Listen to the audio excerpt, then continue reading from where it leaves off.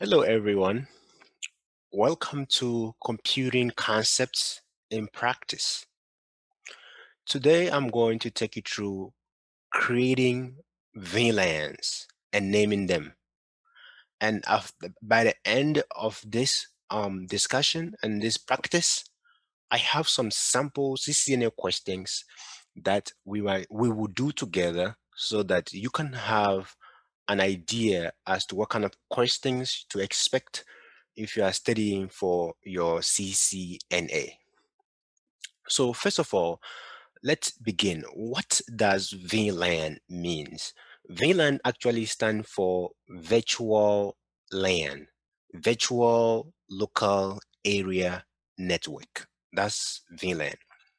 So in definition, we say it is like the logical um, division or the lo logical separation of computer devices on a same network um, switch. Usually most VLANs are created on layer two. And when we talk about layer two, we're talking about the network switch. So that's the logical um, division of computer network devices.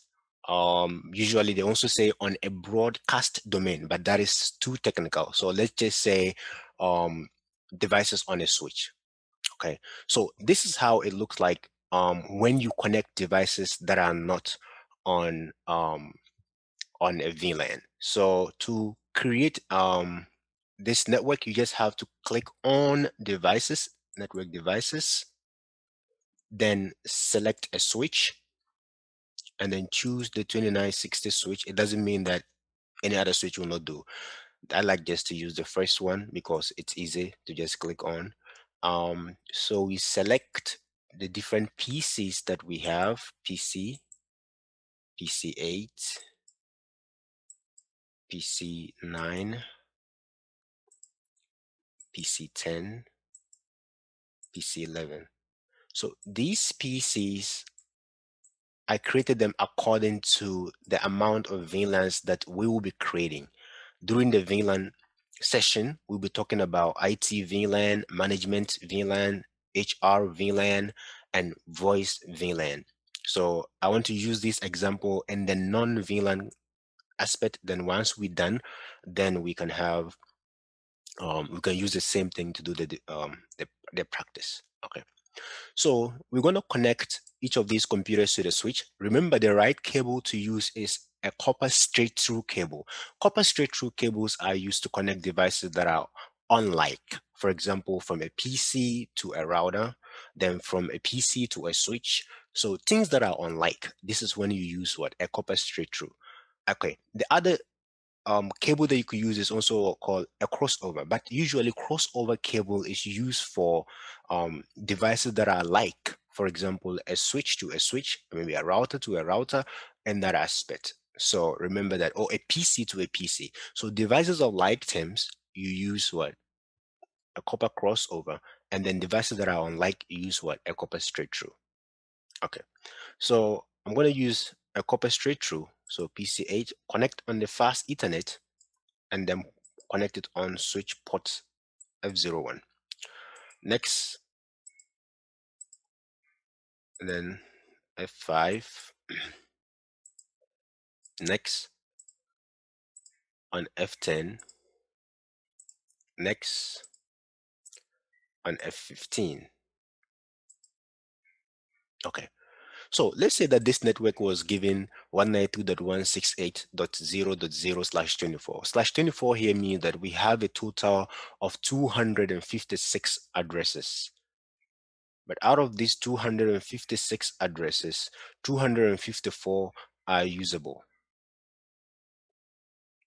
Because the first network address, which is the 192.168.0.0, is the network address. And the last usable address is going to be the 192.168.0.255 okay so i'm going to assign an ip address to each of these devices first to show you what we meant especially when i'm explaining what VLANs are for.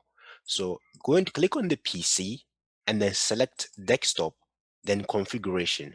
Then assign a static ip address of 192.168.0.0 uh, or .0.1 that's the first IP address. Oh, okay. So that's correct. There's no gateway because we don't have a router. So we close this out. The next desktop configuration then 192.168.0.2 close that out. Next. Desktop configuration. 192.168.0.3 close that out. Next. 192.168.0.4 and close that out. So with this, we can decide to try to see if the computers in my network can talk to one another. We can check our IP address first. How do we check our IP address? We use the command ipconfig and you can see that the IP address of the first one is the one that we assigned, 192.168.0.1. So we're going to have to ping any of these other PCs. So, so ping is the command that we use to determine um, the response of uh, just to to, to find out if our neighbor is alive. Okay, we use it to just check on the person to see. So to verify a connectivity, we use what we call the ping command.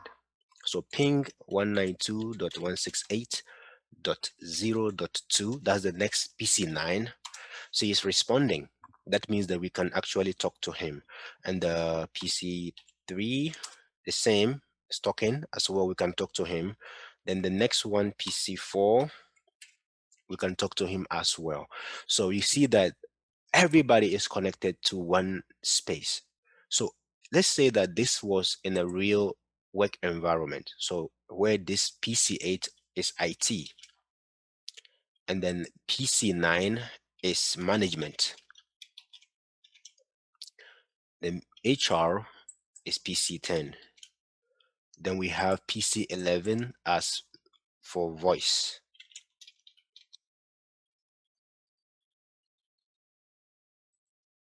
Okay. So with this connection, you see that as long as these computers can talk to one another, that means that there is a possibility that files could be shared and anything can happen, which under normal circumstance, you can see that that's what we have in most of our workplaces. It is not safe. Okay. For internal purposes, you could say, okay, you know, we are all here, you know, it's one company. Yeah, it's good, but it's not so safe. So one of the benefits of a VLAN or why VLANs are important is the fact that it enhances security such that IT cannot just talk to um, management. Likewise, management cannot talk to HR. Likewise, HR cannot talk to people in the, I mean, voice data resources or whatever. So this is the purpose of VLAN. So logically, it divide each of these into networks connecting to the what? Switch. Okay. Okay.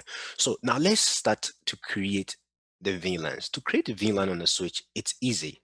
Okay, so let's do it. So you click on devices, click on the switch, select your switch. Okay, now a new set so to help us understand better. Sorry. Delete. Yes. So we're gonna have our PCs. Next, PC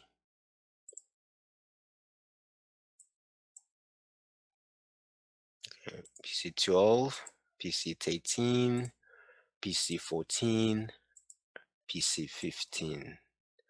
So again, this is going to be our, our IT in this case.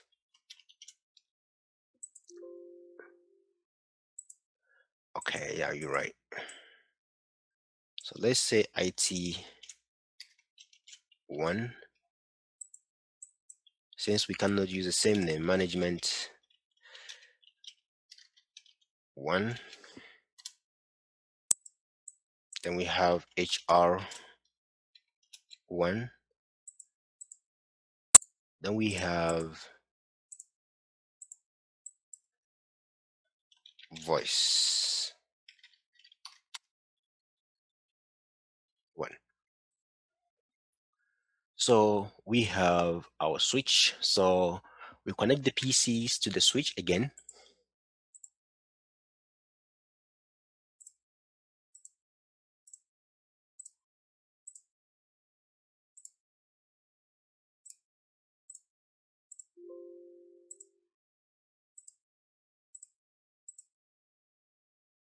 Five.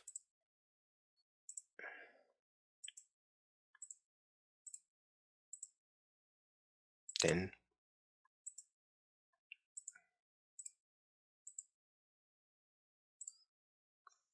Okay, perfect. So we're gonna have to now go into the switch. But remember, when you are implementing VLANs, that means that even though these are on the same this, these computers are going to be on different networks when you connect into VLAN. So that means all of them cannot be under this network that is 192.168.0.0 network. We're going to have to divide them into a separate network. So that means the IT will now be in a separate network. Um, management will be on a separate network. HR will be on a separate network. So each of these are going to be on separate networks. So now we're going to go into the PCs and give them the IP addresses first. So go it again, open the PC, then desktop, then configuration, then you add the IP address of the IT is 192.168.1 dot dot one. I'll make it two dot two. Then there's no gateway. Gateway is the address of your router. We don't have a router in this yet, okay? And we don't need it for now. so next, we're gonna go into management, desktop configuration.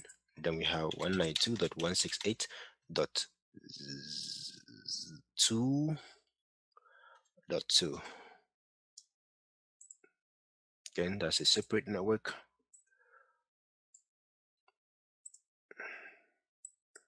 Desktop configuration 192.168.2.0 no sorry. Dot 3.2 okay close that here. Desktop configuration 192.168.4.0 no dot 2 Okay, we're giving the second address from the network. So remember, each of these is a network that is separate. They are separated by the third octet. You can see that one, two, three, four. So that is what separates each of these networks. So no default gateway, close it. So the fact that there are different networks means that we cannot communicate together. These things are very separate. We cannot talk. So if I go in here and say IP config command and I try to talk to or ping um, management, which is just my next neighbor. So ping 192.168 dot two dot two. You see, we cannot talk. Okay, so so we will have to now configure VLANs. Even that is also not going to allow us to still talk because each of these are on different networks. Unless we now introduce what we call what? A router but that will be in the future. So now let's the purpose for this class again is to learn how to create VLANs okay? And the VLANs each of them have to have what? A separate network address an IP address okay? So so now let's go into the switch and begin the creation of our VLANs so you click on the switch and click on the CLI press enter and go into the let's go into the privilege exec execute mode first so that we could be able to see the default um, VLAN configuration in the system. So we say enable first, sorry, enable. Then we show VLAN brief, show VLAN brief. So VLAN brief would give us the current VLANs that we have in the system. So by default, all the switch ports are connected to VLAN 1. These are also some um, outdated, uh, what's the name, VLANs that Cisco always, I mean, include in their configuration. So I'm going to create the new VLANs that we have and now assign the respective ports to those VLANs. And when I show VLAN brief next time, you should see the new VLANs that we created. Okay, so let's begin. So we go into the configuration mode, configure terminal. Okay, and then we to create a VLAN, just say VLAN and then the VLAN ID. Okay, then we name it. So the first one, we're going to give it, um, so IT VLAN will be VLAN 10, management will be VLAN 20, HR will be VLAN 30, and then voice will be VLAN 40. So we click on that and then say VLAN 10. That's it. That's how you can do VLAN and press enter. And now we give it a name. So we just say name then what? Name of the VLAN is called IT. Okay, like that. So next one, VLAN 20. Name management. Next one, VLAN 30. Name it HR. The last one, VLAN 40. Name it voice.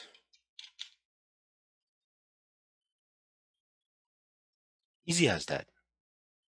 So now let's it's time for us to now add each of these VLANs, I mean these PCs from the respective department to the appropriate VLANs. So before that, let's show our VLAN brief so that you can see um, the new um, configuration. So show IP, show VLAN brief. So now you can see that VLAN ID, VLAN 10, IT, VLAN ID 20 management, VLAN ID number 30 HR, VLAN ID number 40 um, voice. So now these are the, so now it's time for us to remove the respective ports. So port 5, no, 1, port 5, port 10, and port 15 to each of these respective uh, ports that we connected them to. So we go back into the switch and then go to the ports. So configure terminal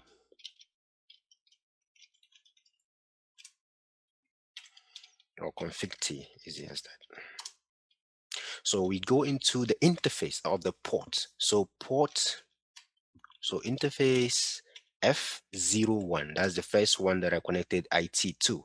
So enter and you convert the switch port to access port.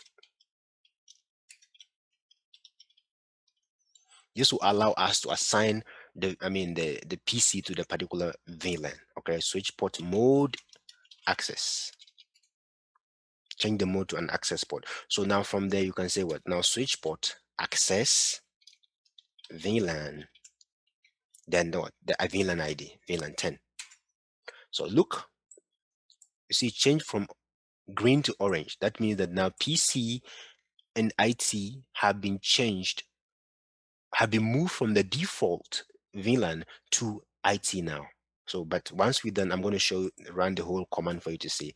So we're going to do the same thing for so interface F05. Change it to access port first, and then change the VLAN, add it to the VLAN what 20. So the same thing. You see the yellow, uh, orange light. So that means that it has moved also. So next one, VLAN 10, no, so uh, uh, interface F010, then change it to an access port first, switch port mode access, and then from there, then you what? Add it to VLAN 30.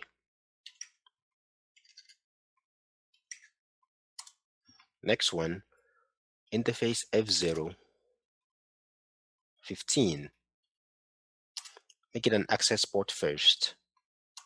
Then you add it to the what? VLAN 40. Exit. Now from here, we're going to now go back out and then check the configuration of the VLANs. So show VLAN int br interface brief. Show VLAN brief brief. okay so now you can see that f01 have been moved from the default into port into um it VLAN. Likewise 20 has been moved into what? Uh, f05 have been moved to 20 f10 have been moved to hr and then 15 has been moved to what? Voice. So this is how you create a VLAN and this is how you um this is how you move the the different ports into the different VLANs okay now what do we do to the remaining ports? Okay so i want to use that opportunity to show you how you add a range of ports so that um into um a particular maybe VLAN or maybe to disable them. So let's do that. So let's say configure terminal.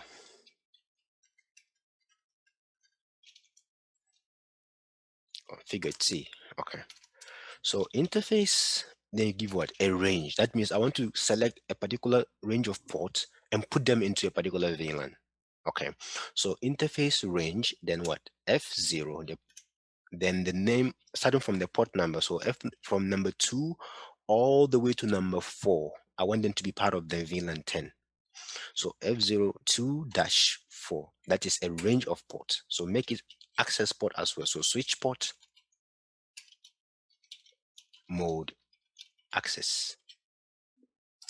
Then switch ports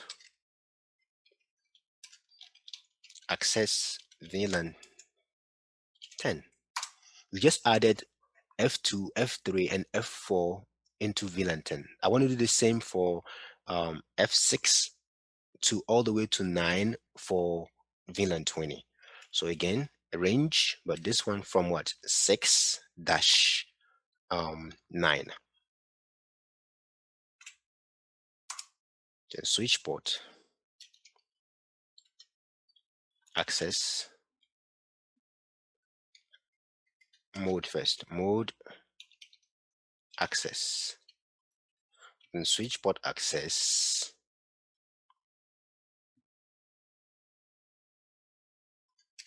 VLAN 20.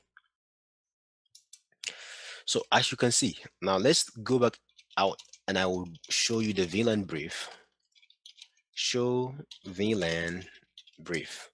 You can see that I have moved from, so now ports F01 all the way to 5 are now and what? IT. No, uh, port F1 all the way to 4 in what? IT VLAN. And then F6, or F5 all the way to 9 are in what? Management VLAN. So this is how you you are dividing this number of switch ports by the what number of VLAN like by putting them in what into some respective um VLANs. So this is how you also add what a range of ports as well. So now that we are done with the configuration, we still cannot be able to ping, but in some sense, we have now what divided our network into what VLANs. Okay, so in our next video, I will introduce a router that will allow us to do inter domain routing. So remember, each of these port, like a connection between a PC to a switch, each of these constitutes what we call a collusion domain. A collusion domain. let me see how I can do that. Okay, so this is a collusion domain. So every switch port is what? It's a collusion domain because there's a possibility what of a collusion that could occur in there. Okay. So that is it. That's what we call a collusion domain. Okay. Now, for a broadcast domain, that means that when we have a router in there, so so each of so this is one broadcast domain, one broadcast domain. Okay, but each of these is what a collusion domain because there's a possibility of what a collusion occurring. Okay, so let's now look at some of the sample Cisco questions that you are likely to see in a Cisco exam. So let's walk them through. You're going to tell me what you think your answers in the comment section, and then I'll be able to confirm with you. So this is a Cisco question. It's saying that a switch has 48 ports and four VLANs. How many collusion and broadcast domains exist on the switch? So this is the arrangement. Collusion is the first one, and the second one is the broadcast. So A, is it four collusions and 48 broadcasts? B, is it 48 collusions and four broadcasts? C, is it 48 collusions and one broadcast? Uh, D, is it one collusion and 48 broadcast E. Is it four collusions and then E, uh, one broadcast? So tell me your answer for question 45. It's a sample Cisco question, exam question. Um, I pulled from the question bank. So um, just tell me your, your answer in the comment section. Now, next one. Which two characteristics describe the access layer of the hierarchical network design model for Cisco? The answers include, so th this is the hierarchical network design model. And you can see this is the access layer. What can you see on the access layer? That is the clue. Yeah, switch is down there. So now what are the, they say choose two answers. Okay, is it layer three support, B, port security, C, redundant component, D, VLANs, and E, EPOE? Please tell me your answers in the comment section. Now, next one, um, we have this, a host. So observe this before. So it's saying that a host can communicate with host B, but not host C or D.